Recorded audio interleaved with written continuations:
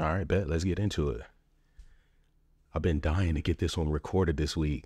Um, I was a little bit under the weather and uh, couldn't really get on the mic. It was sounding crazy and, you know, really just didn't have, have the energy to get it done. But here we are. We are uh, we back and we live. Pizza King podcast. I'm the host, Tyrell Reed, Pizza King, here to give you real life practical advice on running your shop, building your team, growing your business. Um, so thanks again for joining me. Appreciate everybody that is tuning in, anybody that's listening, everybody that that reaches out to me. Um, I can't be more grateful. Like seriously, um, I get to set up my laptop and get on this mic and talk about talk about pizza and what and what we do and what I do every day. So, you know, super grateful. But yeah, like I said, under the weather, sucked to spend Father's Day, uh, kind of holed up in the room and not feeling well.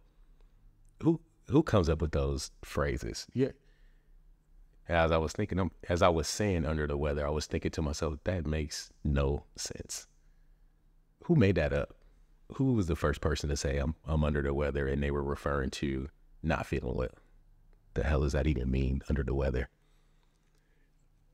I can't even even begin to think about how many of those crazy phrases or sayings there are in our in our language and in our cultures. Um, that one's just kind of funny to me. Under the weather, the hell does that even mean? But here we are. I guess I'm back above the weather, on top of the weather. I'm good. I feel better. Uh, get my energy back at the gym this morning. So we we're on a mission. I got this little wager going on with with Paul to uh to get my run time down. We got a bet that I can run an eight minute mile by September. So your boy is working hard. It's gonna take a lot of work. Uh, so 5K every Friday until we get there. All of it in preparation for the treasure treasure chest 5K with the Bucks um, in September, which is which is gonna be dope. Um, but y'all didn't come here to hear about that. You came here to talk to me about crazy phrases that make no sense. The one that I want to talk about is actually part of what I want to do and what I want to talk about today. You know, I got my notepad. I want to talk about this phrase that has plagued the the business, right? The customer is always right. The customer is always right. The customer is always right. And while on some level I disagree with that statement. The customer isn't I don't I don't think that the customer is always right. But the customer does always pay. And what are we here for? We here you you want to be right or you want to get paid? You know what I mean? like what, what are you trying to win here? Uh, I want to talk about customer service.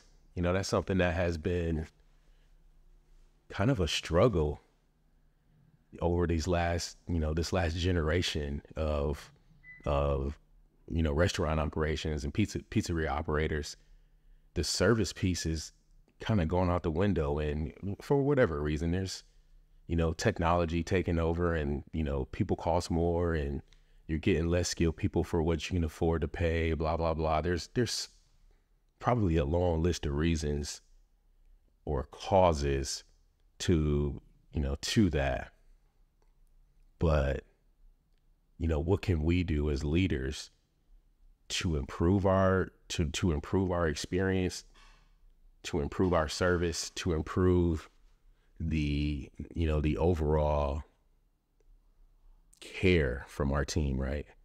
I mean, it's it, when people care, then the service is better. When people don't care, then you get shitty service. So how how do you work on that? Um, how do you solve those things? How do you how do you handle customers that that have complaints? How do you, you know, how do you keep the team? How do you get the team to to care enough about it, right? And that's that's something that is important to me. Something I, you know, there's things that I've learned. There's, you know, things that we still continue to work on because it's it's a never ending process. Like like we always say, it's it's, it's never built. It's always building. Same thing with service. It's something that we gotta we have to constantly work on.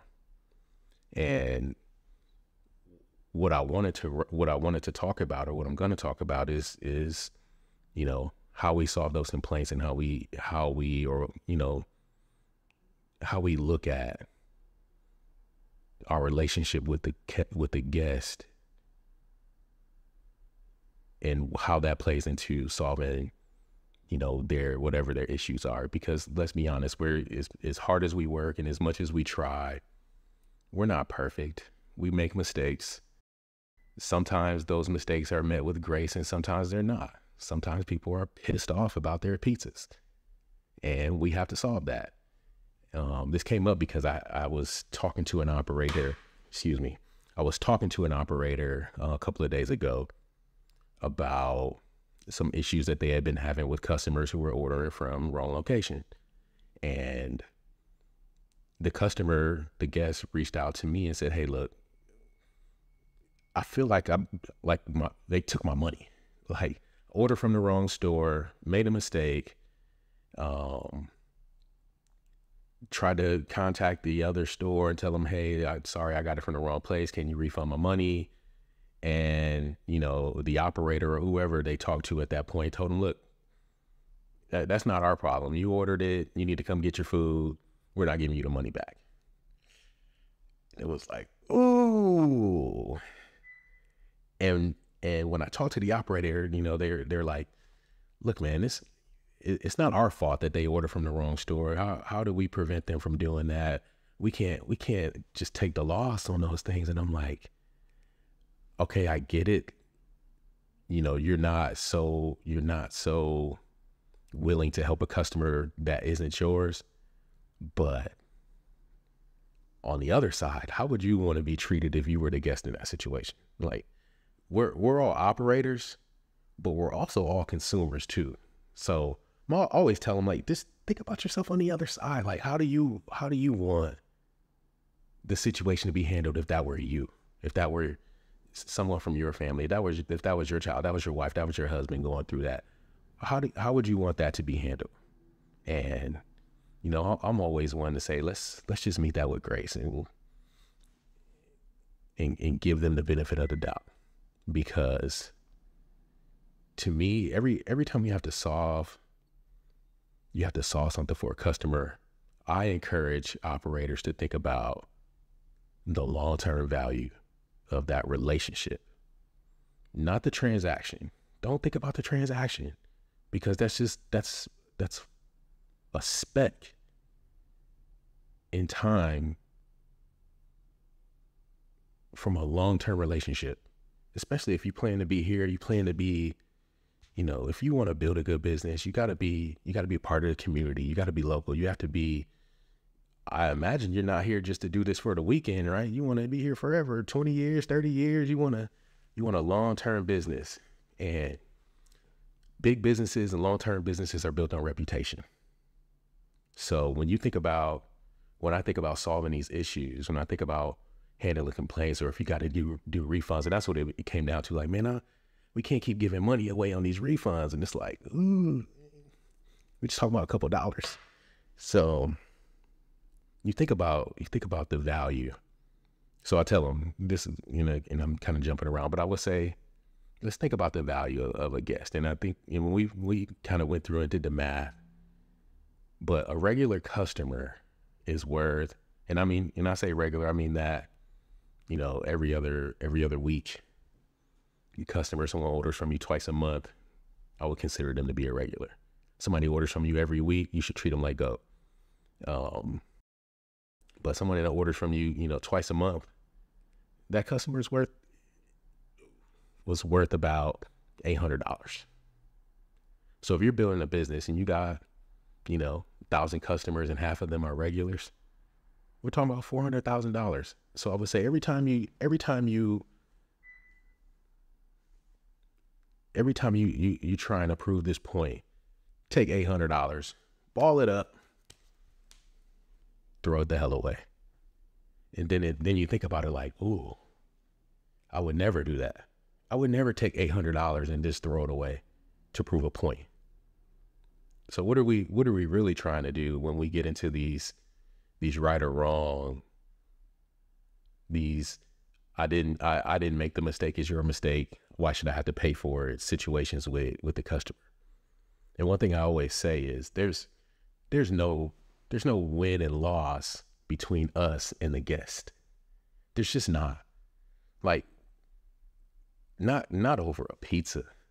Now if you you, know, if I got to protect my team, you're threatening somebody, you're doing, yeah, I'll, I'll bust your ass over that. Like, that's when we can get into the right or wrong. But we're just talking about the order. There's no right or there's no there's no win and lose. There's no right or wrong. The only time we win is when they come back. So if we, if I gotta if I win if I okay say I did it was your mistake and I prove you wrong and I don't give you your money back and you never come back to me. So I won I won that that interaction, but I lost I lost the relationship. I lost a customer.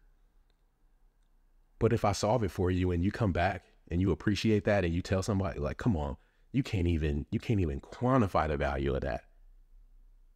If I solve it for you, especially if I go above and beyond, because that's you know, I'll get into that in a second, but but if I solve it for you and you appreciate that, then you're gonna come back. And that's and that's where we win and that's where the value is. When you know our job is to keep the register ringing, right? And you, you try to win that argument, you go, that's just money. That's just money. That's a guess. That's a relationship thrown away, and possibly even more soured. So, if you're in that situation, you're an operator. I would caution you to just check the ego and don't don't try to be right when I was when I was with Fuzzies, um, great company out of Fort Worth. When I was with Fuzzies, they would take, you know, they took, put their own spin on on last, which is eh, we all know what last is. Listen, apologize, solve, and thank. So when we're talking about handling customer complaints, listen, apologize, solve, and thank. But they took it one step further and they and they put the B on last. So and the B was believe believe them, believe the customer. Like it, and it made so much sense. Like every every every step of it becomes that much more impactful when you actually believe that they have a problem for you to solve. If you don't believe a customer, you're not gonna you're not gonna give it your you're not gonna give it your full attention. You're not gonna give it your full you're you're not gonna put your heart into it. But if you start with belief, and you say, man, maybe this maybe this person, you know, wow, we did make a mistake. Let me let me try to fix this. Let me let me take care of this. You start with belief when you're listening. So and and I'll we'll, we'll B L A S T blast. Believe, listen, apologize, solve, and thank them for the opportunity to solve the problem. That's how you recover somebody. So when you start with belief, everything else falls into place. Listen. Now, now leaders, I'm telling you, listening is a, a skill that is absolutely crucial as a leader. It's something that you need to be passing on to people. Like you have to be able to listen, decipher, understand, so that you can then solve the solve the issue. So believe, listen attentively, apologize for the situation. It doesn't. An apology is not an admission of guilt. Just because you you apologize for the situation, I'm sorry that that happened. And if we and if we screwed up, I'm sorry that we're that we screwed up. I'm sorry that we ruined dinner tonight. Like how can we how, how can we fix it? Apologize. And then solve that shit. Like don't just don't say, "Oh man, that's sorry. Next time you will get it back." No, solve it. Fix it. How can I make this right? And it's not I can't stand those cookie cutter approaches to solving problems for customers. Oh no, sorry, we'll just give you give you credit for the next one. We'll give you credit. Oh, we get ne- next pizza's on us. Hey, come on, man, that's weak. Like, listen to them and solve the problem. If you screwed up the birthday party, how are we gonna fix that? We didn't get dinner, man. I'm sorry about that. Let me how to, how how can I get your dinner back together? Man, you had to you had to order from somewhere else. I apologize. how can I how can I fix that for you? And it's and it's about solving it to their standard. Like how do we fix it for them? Not for what works with our POS system, not for what what fits inside our our parameters. How do we solve it for them? And then we thank them for that opportunity because the scariest thing in the world to me is the person who has an issue and never says anything because you know what happens? That person don't come back. Thank them for giving for for for bringing it to light that you had an issue. Thank them for having for for speaking up on that on that complaint. Appreciate that because that customer is giving you a chance they didn't have to do that they can just say you know what West Shore didn't get it right i can't i can't do this i ain't going back there and that's the worst thing that can happen because then you you don't a you don't even know that there's an issue in your operation, and B, you lost a customer. And what and what did we say a customers were? A regular customer twice a month, eight hundred dollars a year. Ball it up, ball up the money, throw it away. And that's and that just can't happen. That's that is so scary for me. So, and I tell I tell my teams, you know, when I was when I was running the stores, I would always tell folks, and, and here, and let me actually let me back up a little bit. As a leader, you have to empower people, and, we'll go to that to that solve. You need to empower people to, you know, empower them to solve it. Like, stop putting all these layers in there. If somebody's got to complain, and then they got to go get a manager, and then the manager got to talk to the owner, and then like, come on, man, why you why are we giving people to run around about a pizza? Empower the empower the cashier to solve that thing. Empower whoever interacts with that customer to solve it or give them a path to a solution. So like, and always I used to tell the managers, um, and Chad and Chad who worked for me for a long time, he'll he'll tell you like, I'll try to fix it before it gets to you because if it gets to you, if it gets to me, I'm gonna solve the hell out of it. Like if we messed up your pizza, I'm gonna give you your money back. I'm gonna give you the pizza. I'm gonna replace the pizza. I'm gonna give you another pizza for to to give to your neighbor. I'm gonna give you a gift card to the restaurant that you had to order from because we screwed up dinner. Like, well, I'm going above and beyond because I care about that about that relationship. I care about you coming back. So like, make it make it so that they want to solve it before it gets to you. And you know what? And that, and that, that he didn't like that because of you know what happened oh, that cost us. Oh man, my food cost gonna be a little bit higher. We just gave away three pizzas, four pizzas for one pizza that we screwed up.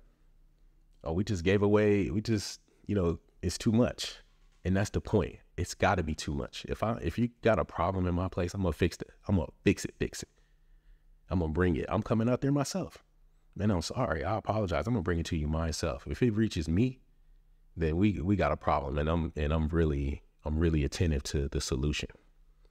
So empower your people to solve those things, you know, and let them see you going above and beyond. Don't let them be afraid to, to take care of somebody because if it starts going through too many layers, things get lost, people get confused, like, you know, communication gets dropped and it's just too much. You ever play that telephone game where you can whisper in somebody's ear? Then by the time it comes back around, the whole damn message changed. It's the same thing with a complaint. If you got to go through all these layers to solve things, don't do that. Like, come on, man, give these people the power to take care of this stuff. So empower your folks. Um, what else did I have? I mean, that's oh, oh I, I wrote a, I wrote a note that says indifference is a killer in the restaurant business. It's something my, my, my buddy Greg Salmon used to say. Um, he would say one of the biggest killers in the restaurant game or in the customer service experience in general is that feeling of indifference. Meaning, people are bringing us their hard earned money for an experience at our place, a product, a, a night out, a, a, family dinner, whatever it is. They get they work hard for those dollars, and they trust us with taking care of whatever they whatever experience they're coming to. We shouldn't treat them like it doesn't matter. You know what I mean? Like we're talking about customer service and indifference is a killer. Don't make people feel like you could you could do with or without their their business. That's that is the dumbest shit I ever heard. Like, why would you treat somebody like that? Like you're trying to build a business. Come on, man, appreciate that. Um Yeah, I think that's all I got. So blast, believe, listen, apologize, solve, and thank. Stop, stop treating people like they don't matter. Empower your folks and go above and beyond with your solutions. Take care of folks. And that's my that's my customer service spiel. And uh and I'm and that's where we're gonna leave it. We're gonna wrap it up. Pizza King, Tyrell Reed. Remember, like, subscribe, leave a comment. Uh, we're really trying to build and grow this podcast. So I appreciate any feedback. Um, please leave those comments, give us ratings. We're on iTunes, we're on Spotify, we're on Google Podcasts, we're uh, we're on YouTube. Obviously, we put these clips out on on Instagram and and and TikTok. So go follow me, Tyrell Reed Senior. Um, you know, just just show some love. Share this with somebody that you think may need to hear it. Anybody wants to link up with me, you can email me info at tyrellreed.com. Again, we got the 21 day next level leaders course for free on the website. And uh, we got free 45 minute strategy session if you're trying to you're trying to build your team. Uh, you need some tips. You need you need a strategy for for taking your restaurant operation to the next level. We always start with leadership. We always start with team building. Um, I do a free 45 minute strategy session. I, I, I set aside a couple of days a week to talk to folks, couple hours for a couple days, so I can uh, realistically do like three or four a week. So jump on my calendar. You know, let let's chat, let's talk. Again, appreciate you. Uh, this has been fun. Episode three. Can't wait to talk next week. Take care. Peace.